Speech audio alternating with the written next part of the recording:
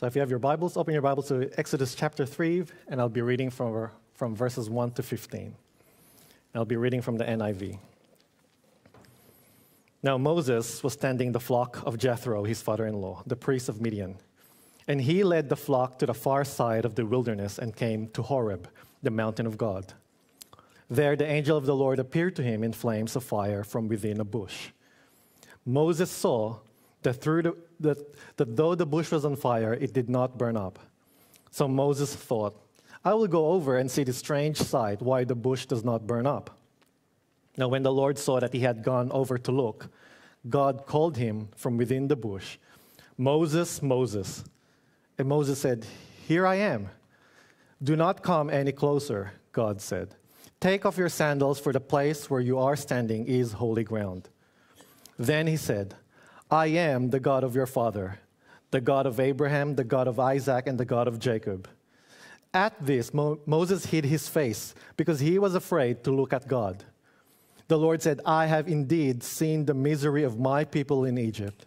I have heard them crying out because of their slave drivers, and I am concerned about their suffering. So I have come down to rescue them from the hand of the Egyptians and to bring them up out of the land into a good and spacious land a land flowing with milk and honey, the home of the Canaanites, Hittites, Amorites, Perizzites, Hivites, and Jebusites. And now the cry of the Israelites has reached me, and I have seen the way the Egyptians are oppressing them. So now, go, I am sending you to Pharaoh to bring my people, the Israelites, out of Egypt. But Moses said to God, Now who am I that I should go to Pharaoh and bring the Israelites out of Egypt? And God said, I will be with you.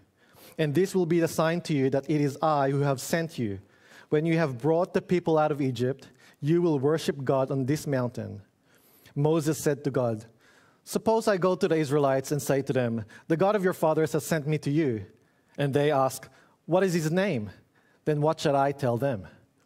God said to Moses, I am who I am. This is what you are to say to the Israelites I am has sent me to you. God also said to Moses, Say to the Israelites, The Lord, the God of your fathers, the God of Abraham, the God of Isaac, and the God of Jacob has sent me to you. This is my name forever, the name you shall call me from generations to generation. Well, good morning, everyone, and, and, welcome. My name's James. I'm the pastor here, the lead pastor, and it's great uh, to be here opening up God's Word today. So keep your Bibles open. We're going to keep looking at the book of Exodus, chapter 3, and a bit of chapter 4. Now, if you don't have a Bible, we'd love you to have one in your hands. So there's one at the back. Go and grab one if you'd like, and you can take it with you so that you can have your own. So we're in, in the book of Exodus, and we're we're, I think we're up to week five. And so we've got plenty of weeks ahead of us as we continue to see how God makes himself known. Last week, uh, it was the 21st of February, and on the 21st of February, we celebrate, well, me and Ali, my beautiful wife, we celebrate our wedding anniversary. Now, for me, luckily, it comes seven days after Valentine's Day. So when Valentine's Day comes around every year, I should remember that in seven days' time we're going to celebrate our wedding anniversary. So last Monday we celebrated not this Monday, this week, but the last Monday, the 21st of February, we celebrated our 13th wedding anniversary and we went out in style.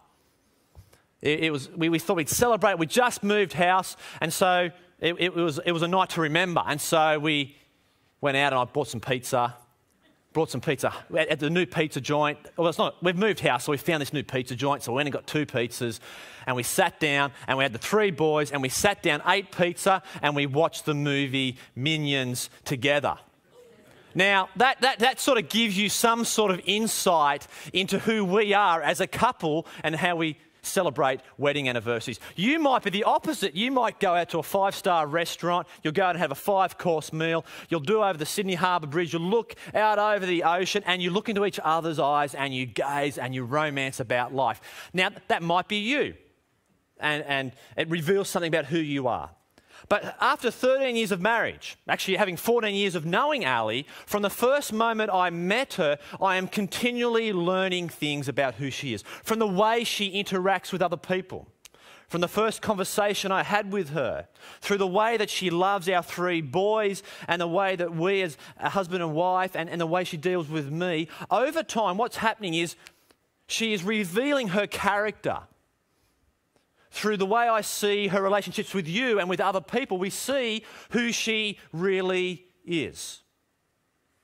And you get to see who we are as a couple by having pizza and watching the minions together. It's exciting.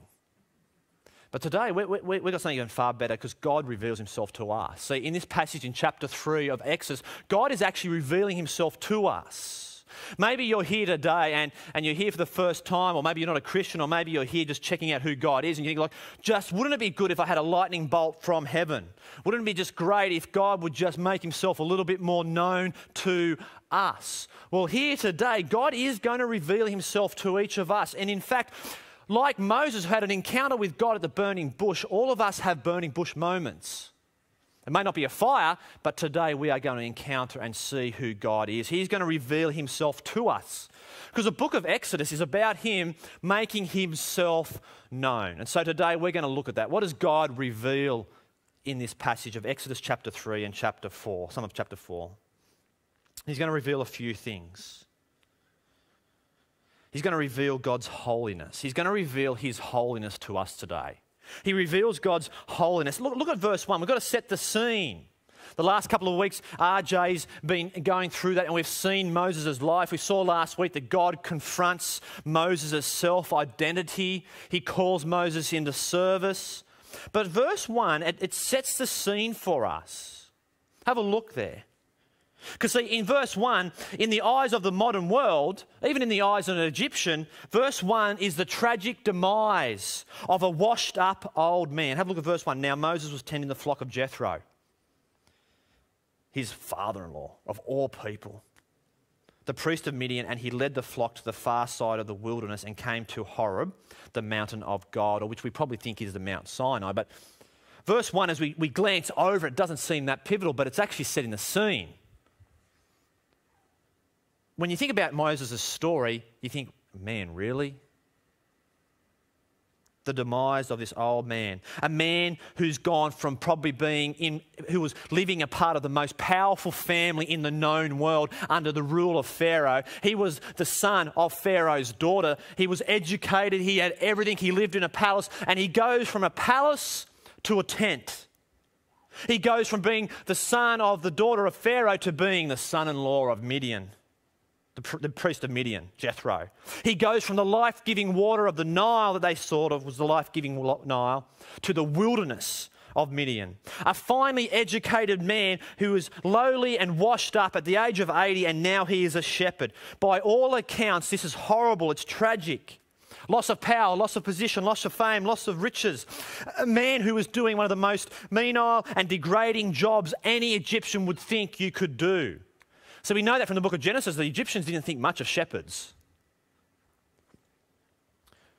And yet, it's the very place in which he encounters God. It's the very place that God wants him to be. See, God is humbling him. It's the very place in which he, he encounters the living God. Have a look at verses 2 to 4. You know, there the angel of the Lord appeared to him in flames. Now, when we picture angel, I think you're probably going to picture Hollywood you may be picturing a, a white being that shines with a halo on its head with wings and it's, ah. And you, when you think of the word angel, we think of that. But actually, angel just means messenger. It means a messenger of Yahweh appeared to him in flames of fire from within a bush. Moses saw that though the bush was on fire, it did not burn up. Now, isn't it interesting that all our kids' stories say this is the story of the burning bush, and yet the burning bush doesn't burn? So Moses thought, I will go over and see this strange sight, why the bush does not burn up. And then when the Lord saw that he had gone over to look, God called to him from within the bush, Moses, Moses. And what does Moses say? He says, Here I am. As Moses heard sheep at a very old age, he sees fire and it grabs his attention. So, you know, Moses has seen a burning bush before. Like, you know, and, but it catches his attention. Like, you know, when you see a bush burning, when it first takes off and it really takes off and it gets hold of the leaves of a bush, it goes, whoop, and it just, whoop, I love it. I love fire. Just, but then what happens after a while, once the leaves are burnt, what happens? The fire just sort of starts to die down and sort of burns up. But, but Moses is going, I've seen bushes burn before, but hang on, what's going on here? He sort of, at the corner of his eyes, what, what's the, that bush is still burning. And so what does he do? He, he wants to go and inspect. And so he, he goes over and he goes over and he, and he has a look at this burning bush. See, fire in the, in the Old Testament, or, or fire throughout the Bible, or especially fire throughout the book of Exodus, it, it, it represents God's glory, it represents God's purity, it represents God's holiness, it represents God's otherness. And here's the burning bush. In 2017, um, we, we, me and my family, we went on an ag camp by Scripture Union. It's an ag camp where teenage boys would come out to the bush for a week and they would hang out with us and we'd teach them about Jesus whilst they, had, they got to do farm work. And so this year we turned up. We've got three young kids. They're very young at this stage. And we turn up. It's like June and July. It's freezing cold. It's freezing. So you've got to get the fire going. So we've got the fire going. It was roaring. The boys are looking at it. I'm looking, this is great. And we go off and we make the beds because we want to get the boys in sleep while the fire warms the house. And guess what we hear out of the corner of our ear? We knew exactly what happened. I could hear William, our youngest, he tripped and we knew what had happened. He fell and he, his arm got on the fire. And you know, he's screaming, and we, we knew instantly. So ours like bump out the room and down there. We put the tap over him and get the water all over his arm. Thank goodness it wasn't major burning. It's perfectly fine now.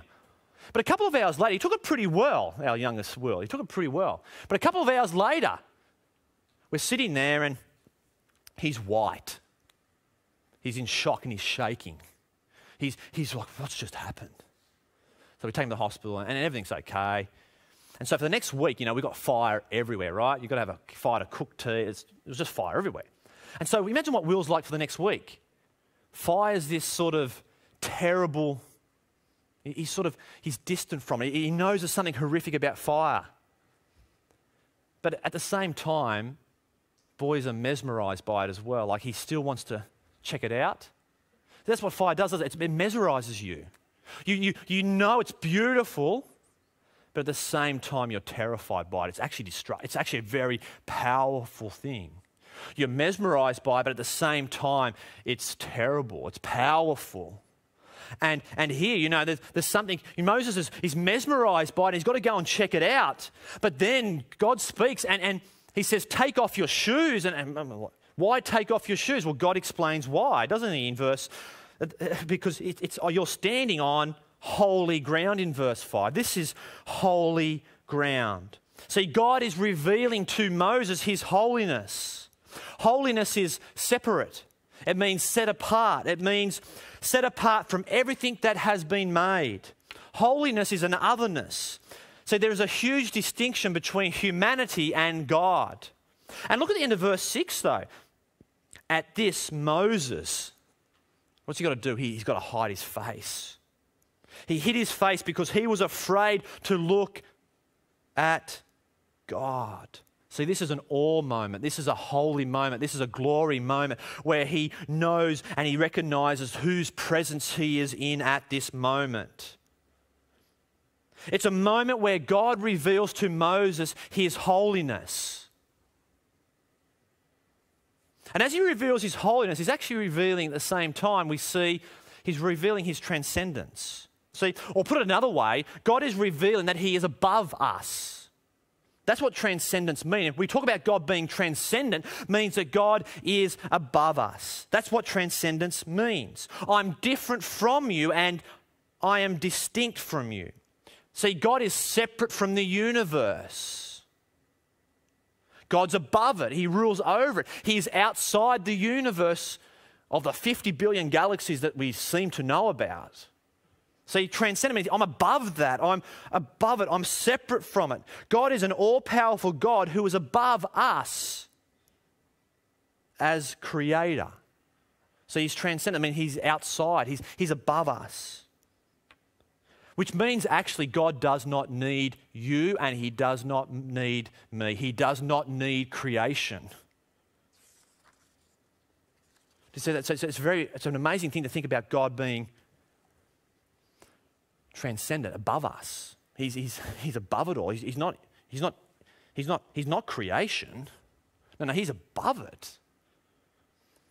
And so that means, here's the logic of that means that you and me actually can't define who God is. He's self defining. See, later on in the book of Exodus, the people of God, they have this moment. They've been redeemed, they've been brought out of Egypt, they've seen the powerful hand of God. Moses is up on the hill. God's speaking to Moses about the, the law. And they're down the hill with Aaron. They're complaining and they go, you know what? Let's get all our gold together. In Exodus chapter 32, they get all their gold and they, and they make a golden calf. So, in that moment, what they're doing is they're trying to define the God who brought them out of Egypt. They've reduced God to a golden calf. We cannot do that. As much as we think about and we want to do it, we are not here to define who God is. He is self-defining. Defining, sorry. God is self-defining. We're in a world today where we go, I like to think of God like this. I believe that God would do this. I can't believe in a God who would act like that. That's a moment where we are defining God for ourselves. Sometimes I even hear Christians go, The God I believe in wouldn't, dun, dun, dun. Now, often in those moments, maybe it's correct, or actually, often it's just us going, I'm going to, this is who I think God is.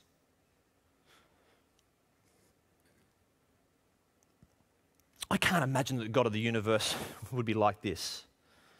But actually, when we do that, you know what we're doing? We're actually just creating a God in our own image.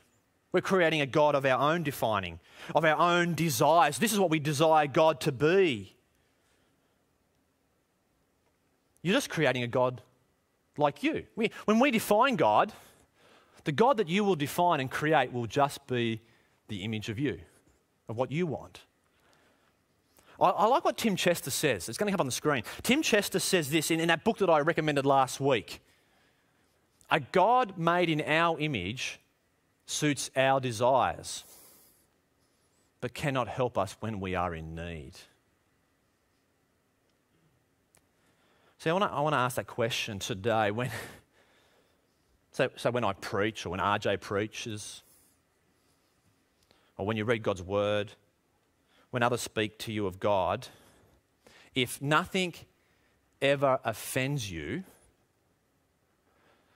there's probably a good chance that that's a God of your own making. Does that make sense?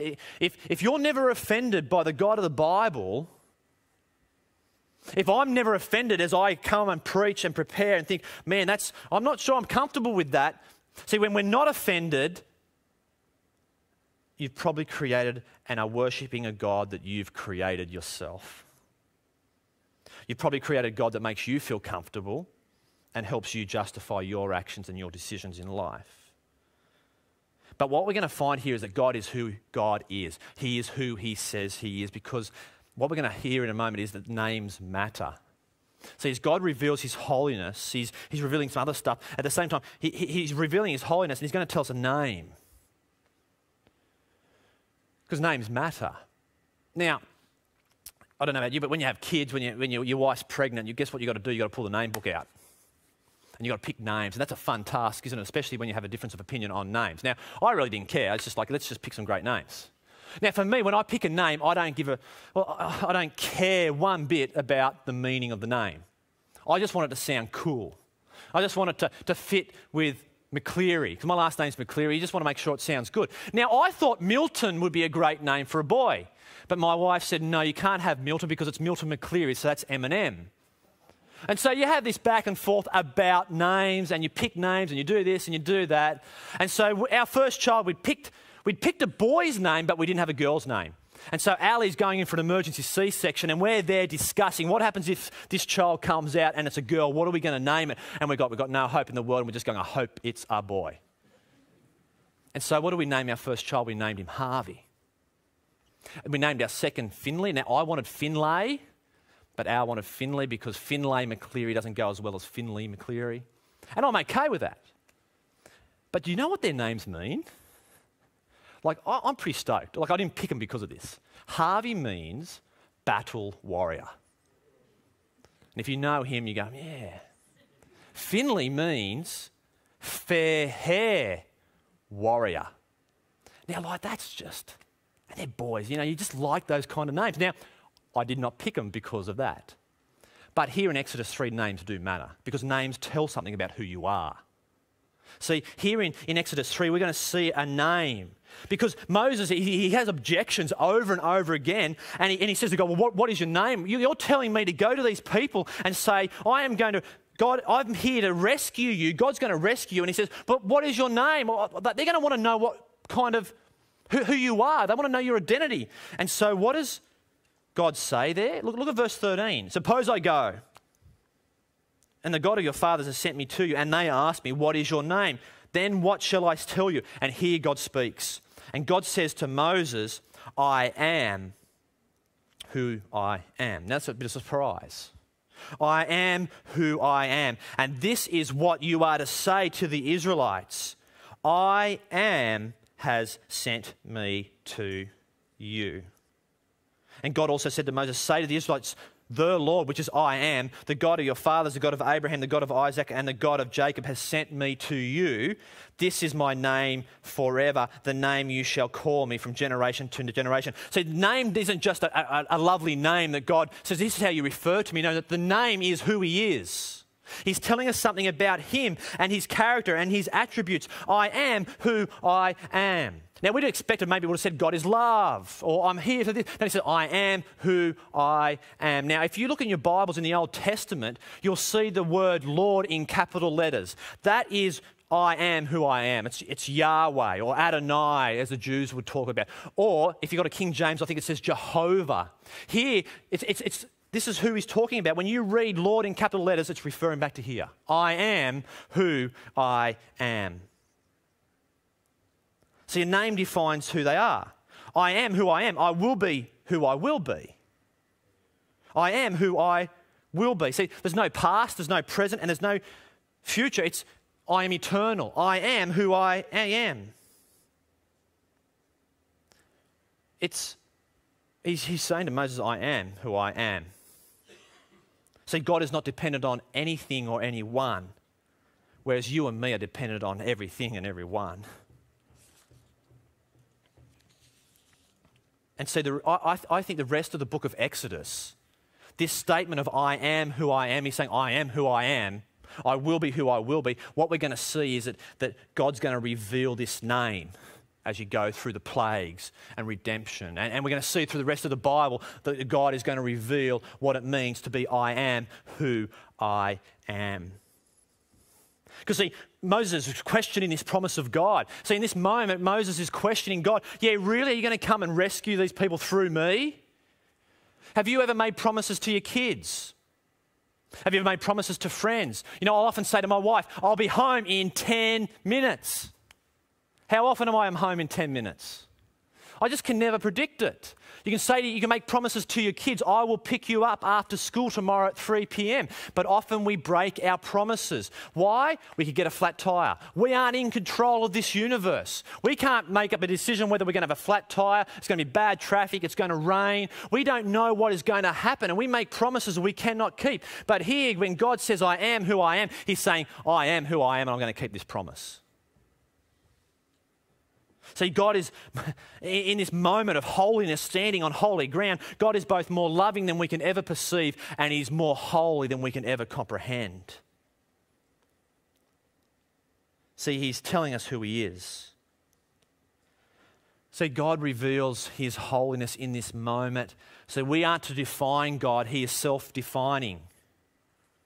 I, like what the, the theologian in the 18th century said. This is Jonathan Edwards he said about when, you know, if, if you were to dream up, if you were to create your God, he says, well, there's many attributes of God that we would choose. Like, you know, God is love, God is gracious, God is compassionate. We'd, if we were to dream up our God, some of the dreams of who God is in our design of who God would be is actually things that the Bible talks about. You know, forgiveness, redemption, grace, love. We'd do that. But I think Jonathan Edwards is very insightful. There is one attribute that we would not dream God to be. That we, if we were to create God, there's one attribute that you and me would never choose. And I think it's an attribute that the church has lost. I think Jonathan Edwards is so critical here. Speaking into the 18th century, he's actually speaking to us. And the attribute that we would never choose, Edwards says, is the holiness of God. Because when we choose the holiness of God, it exposes us for who we really are. The holiness is nothing but a problem. See, the holiness of God is a big problem for each one of us in this room. If you are starting to sense this God that you're trying to come to grips with is holy, and that you're not just a person who needs a spiritual boost from Him, and you're not even just a needy person who needs fulfillment, fulfillment but that you're a sinner and you need forgiveness and pardon. See, when we start to just get a glimpse of the holiness of God, we start to realize there is a huge problem in us relating to God. we start to realize we have a problem of coming into the presence of God. See, if, if, if you're here today and you're starting to realize and starting to have some sort of confidence, as Edwards would say, that you're not, you're starting to have some sort of confidence that you can't come into the presence of God, now you're just starting to get some, you're, you're starting to understand the holiness of God. That the God of the Bible is not made up You sense that you have a personal problem, that it's not just an abstraction that you're trying to just believe in Him, but you have a problem in relating to God. See, one of the ways he says, if you want to be confident that you know the God of the Bible, you start to know the holiness of God. See, when you come into the, the presence of the holiness of God, you come to realize that you are actually one of the mo- you are an unholy person you are an exposed person. See, God here in this moment, He reveals Moses, He reveals to Moses His holiness, and He's actually showing us His holiness. But at the same time as He shows His holiness, guess what? It exposes us. It exposes our insecure identities. It exposes each of us for actually really who we really are in His holiness. So, how do we understand holiness? One of the ways we might try to, to, picture what's going on here and trying to picture what holiness means is, is if I was to walk down into Westpoint and into Blacktown Shopping Centre and I was to walk near the train station, if I was to walk along there, guess how I would feel about myself? I'd actually feel okay because there's, there's homeless people. We've got our street ministry out there feeding people today. Like, you know, when you see people on the streets, you think, you, you feel better about yourself. You think, yeah, it's all right. I'm going okay in life. But then if I was to pick the most wealthy street in Sydney and walk down it, I'd have sort of a sense of, oh, like, I just don't measure up. That's, that's, a bit of a picture of, us trying to understand the holiness of God. Here's another way probably to think about it. I, I like tennis. Right? So if, if, I'm playing tennis with you guys or playing tennis with some young people or, or some of you here, you know, as I play tennis, can I tell you, I'm going to feel sort of, we're good, we're in this together, I'm sort of good at this. I'll feel sort of like, yeah, I measure up. But I wouldn't even have to step foot on a tennis court if Roger Federer just stepped next to me, and even if he said hello, how would I feel? I would go, whoa. I compare, in comparison to you, I am nothing. He leaves me, he exposes me. And can I tell you that the holiness of God is way far bigger than that?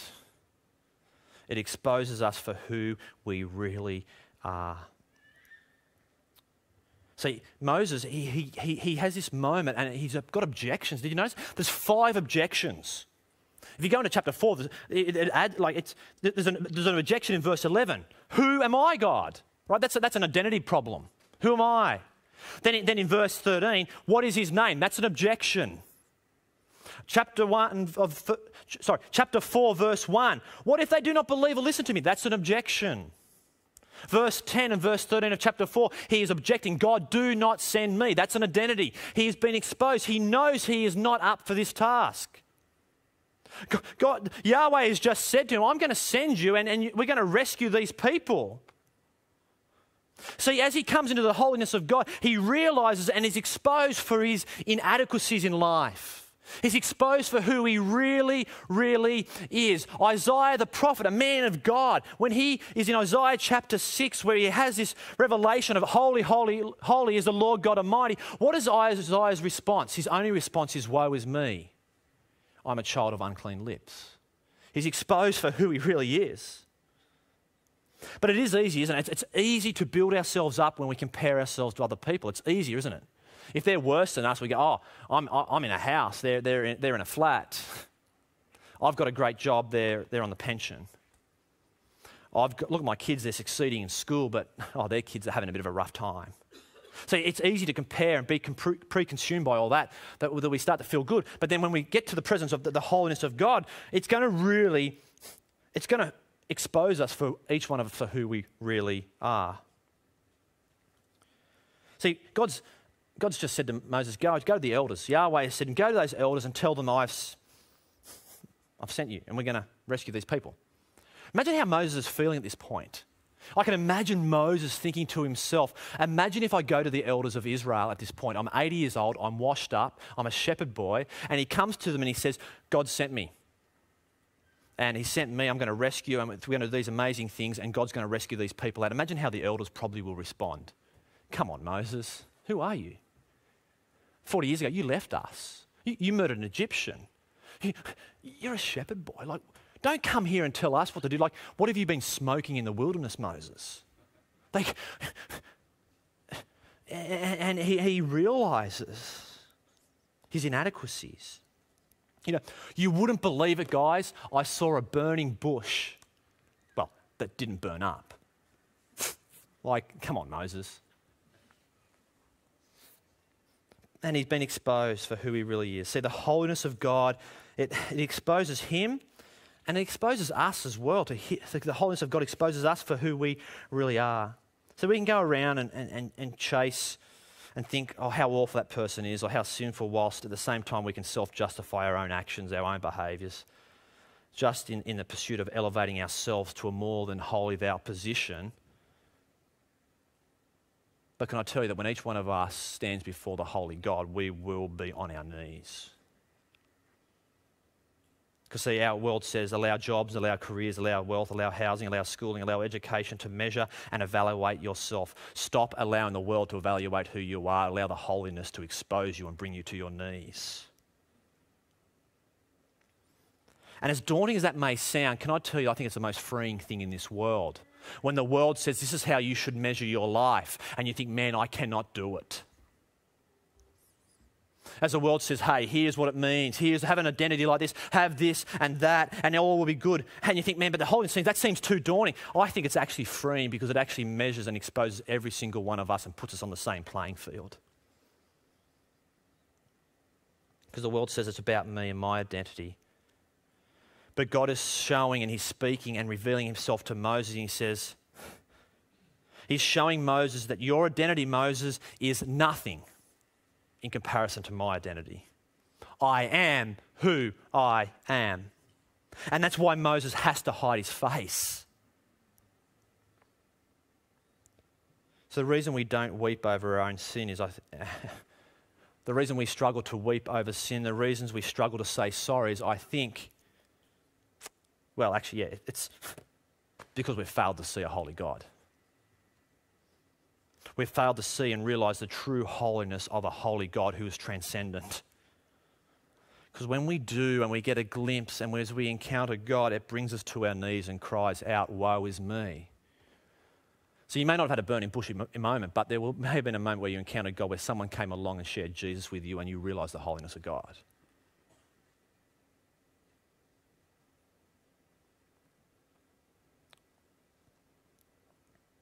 I was just thinking about this this week. Like, you know, as men, oh man, you might be different.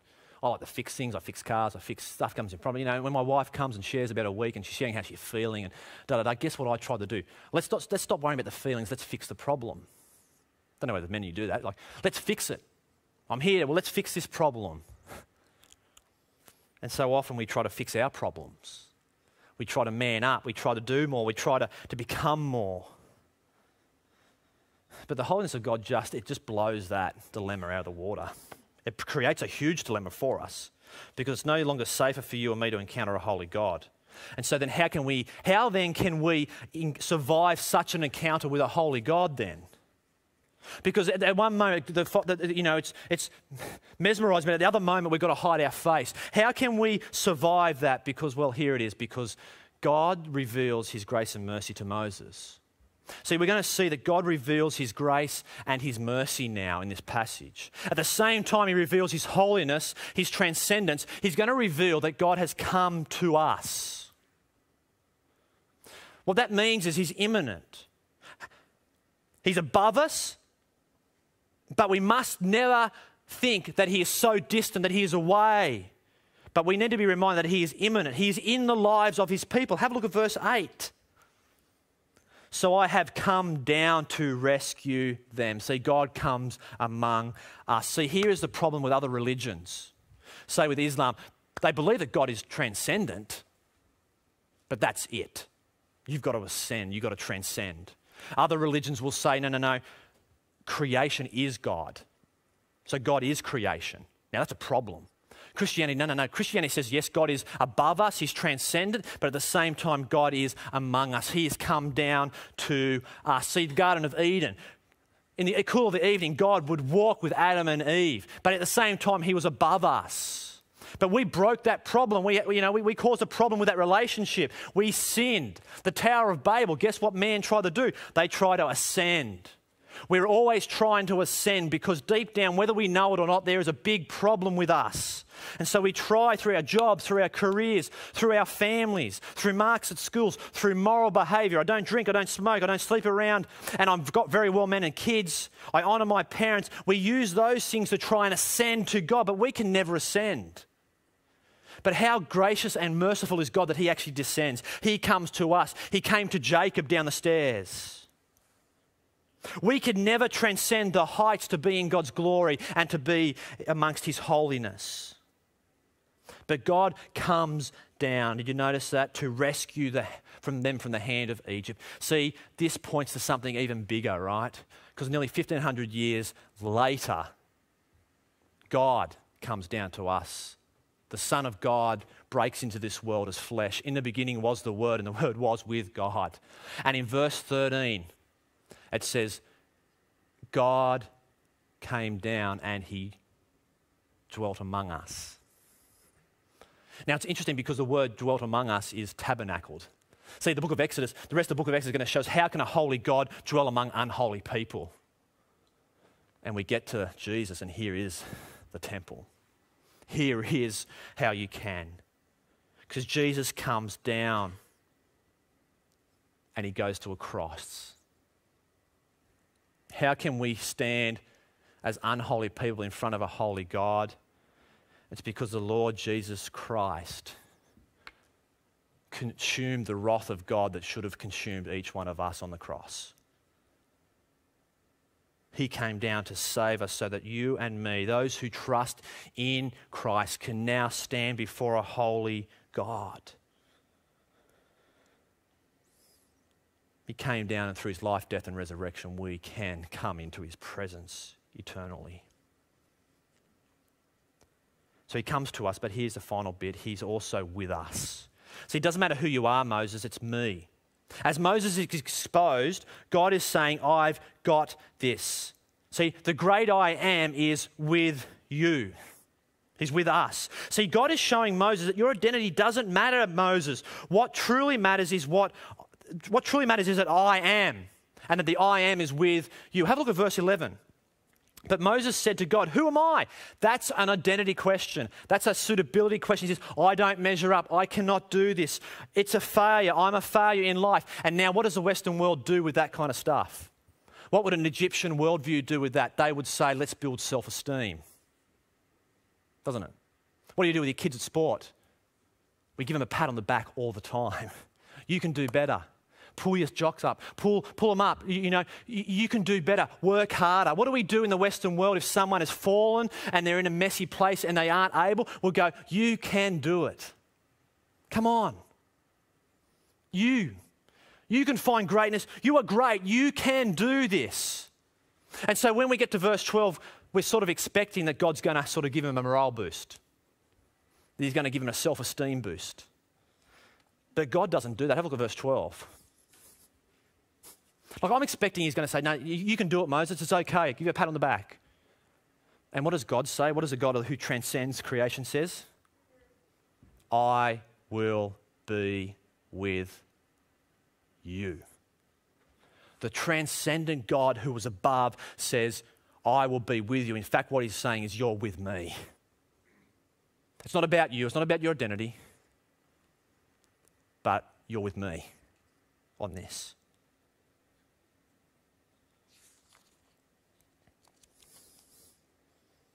See, what we need is not self morale or self esteem, is we just need a greater sense of the presence of God.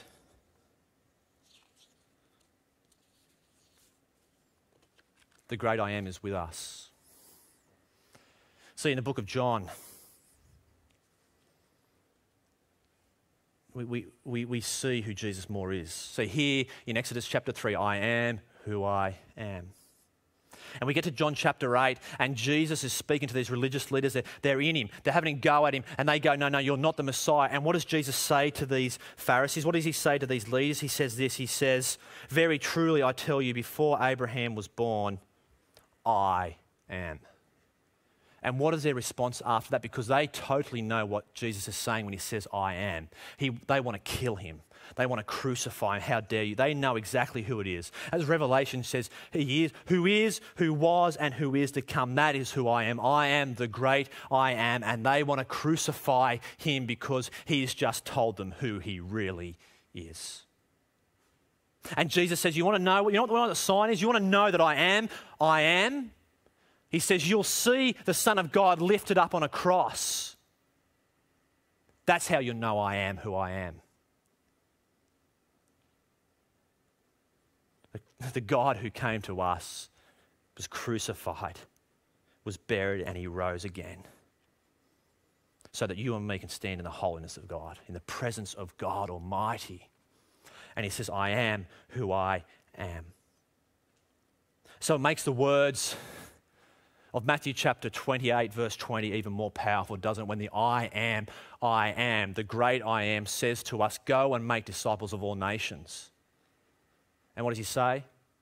I am with you always. Sure thing, Jesus, but it's going to come with a cost, isn't it? When you say go and make disciples, yeah, it's going to be costly. It's going to be costly.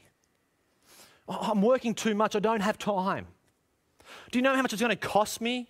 Do you know what it means for me? And Jesus says, I'm with you. You're with me. We have, we have a 58 year old woman here in our congregation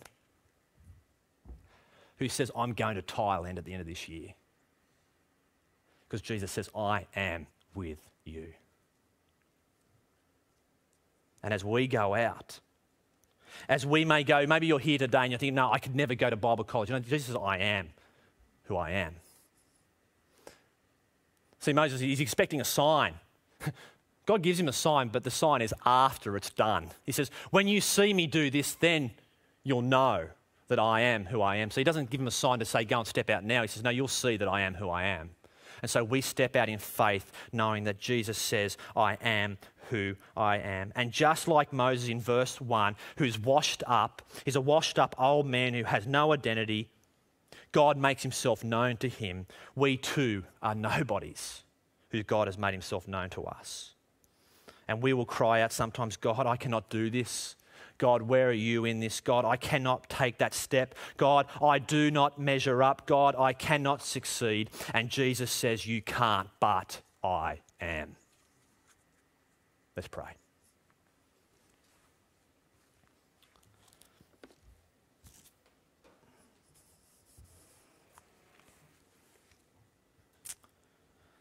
Father, give us a bigger glimpse of your holiness. Bring us to our knees. But thank you for making a way through the Lord Jesus Christ so that we can come into your presence. Lord, you, you know us, and yet, Father, you say, Jesus says to us, I am with you always. Lord, help us never to forget that and never to move on from that wonderful truth. Amen.